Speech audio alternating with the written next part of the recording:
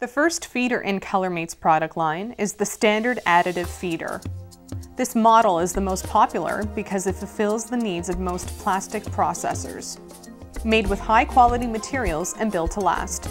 Color changes are easy, thanks to ColorMate's exclusive design features.